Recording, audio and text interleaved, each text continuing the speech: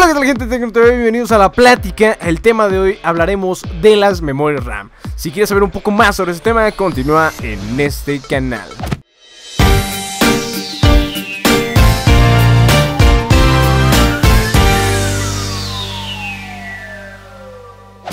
Efectivamente, algunos de los usuarios me han preguntado muchísimo respecto a algunos de los videos que subí, respecto a todo lo que debes de saber sobre las memorias RAM, sobre todo lo que debes de saber sobre los procesadores. Y bueno, he seleccionado las preguntas más interesantes o las que veo eh, que se repiten de forma más frecuente. Es por eso que, bueno, seleccioné la pregunta de Rolando Javi que nos, eh, nos menciona, tengo una duda, ¿se pueden colocar eh, las memorias RAM de diferentes marcas? Bueno, aquí te va. Tú puedes este, colocar memorias RAM de diferentes marcas, sí, lo puedes hacer, no tienes ningún tipo de problema. Sin embargo, si tu tarjeta madre es de marca MSI, y tú le y bueno, y lógicamente te pide una frecuencia máxima y te dice una frecuencia mínima, ¿no? Y también te dice que acepta DDR3 o DDR4, bueno, según la tecnología que acepte. Eso sí tienes que verificarlo, que sea dentro en este caso de las velocidades que puede aceptar tu tarjeta madre y que sea también compatible con lo que es en este caso la versión de la memoria RAM. Si es de DR3, si es de DR4, si es laptop, si es que todo eso. ¿Por qué? Porque DDR3 tiene una medida, DDR4 tiene otra medida. Por lo tanto, no se pueden combinar este tipo de memorias. Lo que sí puedes hacer es lo que tú me mencionabas. Puedes eh, meter distintas marcas sin mayor complicación.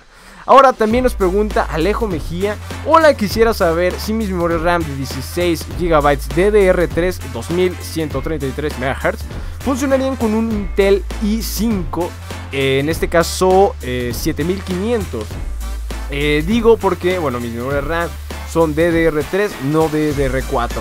Si no mal recuerdo, bueno, este Intel i7 ya es de séptima generación, por el 7.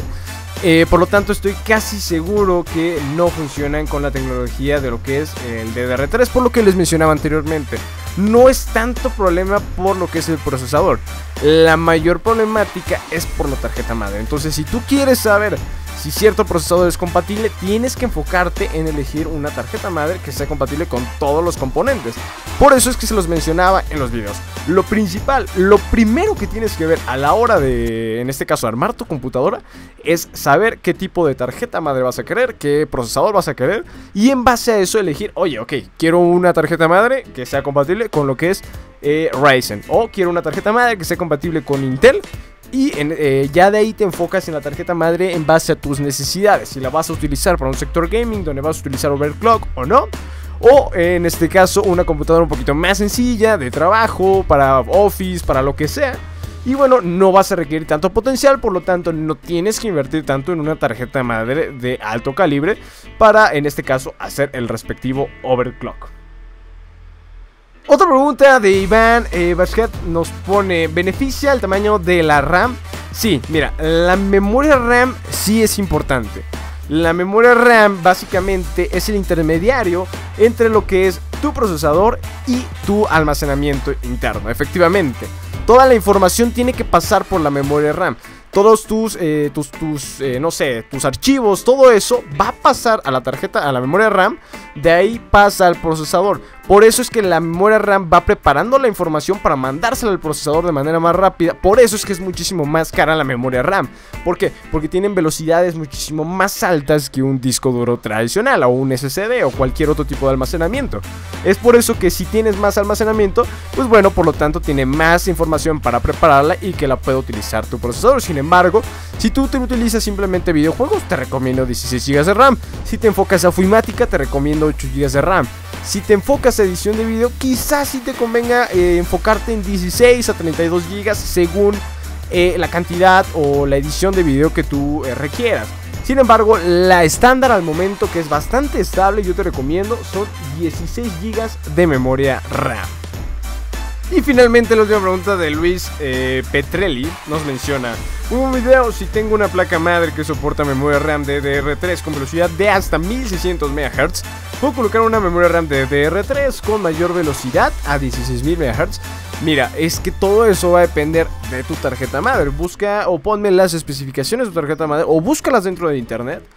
Y en la especificación, ya sea de la página de Asus, de Gigabyte, eh, de MSI, de cualquier tipo de tarjeta madre, vas a verificar cuál es la frecuencia máxima, eh, eh, la velocidad máxima que ofrece, en este caso, o que soporta tu tarjeta madre.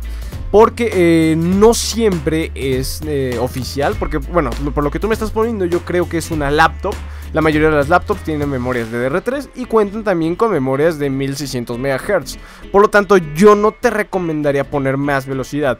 Además, no es tan importante. Muchísimas personas piensan que aumentando la memoria RAM va a aumentar el rendimiento de su computadora. Y sí, sí puede aumentar ligeramente. Sin embargo, si tú quieres ver una mejora sustancial respecto a tu computadora, quieres revivirla, te recomiendo adquirir un SSD. Ya sea un M.2 o un SSD tradicional te van a beneficiar mucho en cuanto al rendimiento. ¿Por qué? Porque esos SSD van a hacer que tu sistema operativo corra de forma más rápida, tus archivos se abran de manera, tus programas más bien se abran eh, de manera más rápida, si estás editando, lógicamente todo esto va a aumentar eh, en el proceso de edición. Y bueno, eh, no va a aumentar en cuanto al rendimiento de videojuegos, en cuanto a nada de eso, ¿no? Lo único que va a hacer es más fluido tu equipo, más rápido, más eficiente. Por lo tanto, sí que te recomiendo que en vez de aumentar memoria RAM, te recomiendo que si te enfoques un poquito más en lo que es aumentar la, eh, la SSD, ya sea que le pongas unos 240 GB o 120 GB para puro sistema operativo y que como memoria externa tengas el disco duro que solías tener, compres un, en este caso un casco para lo que es tu eh, disco duro tradicional.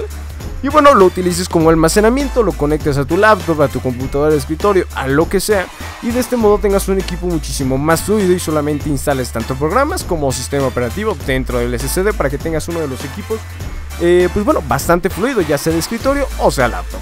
Y bueno, eso fue todo por el video de hoy. Si tienes cualquier otra duda respecto a las memorias RAM, por favor no olvides dejarla acá abajo en los comentarios. Y bueno, si tú sabes también un poquito sobre este tipo de temas, no olvides contestar también algunas de las dudas que dejen acá abajo los usuarios en los comentarios. Yo trataré de contestar la gran mayoría y si surgen muchísimas dudas más respecto a este tema, claramente haremos otro video de la plática. En este caso, bueno, para contestar todas las dudas que surgen respecto a estos temas. De igual modo, en cuanto a esta sección de la plática, seguiremos haciendo videos de esta temática, buscando o agrupando todos los comentarios que tengan que ver respecto a un mismo tema para contestar todas las dudas englobadas respecto a un eh, tema, en este caso las memorias RAM. No olvides seguirme en todas mis redes sociales, nos vemos en el próximo video de Tecno TV con, en este caso, la sección de la plática. Nos vemos, hasta la próxima. No olvides activar las notificaciones para estar al tanto del contenido que se sube a Tecno Tutos TV. Oh, oh, oh.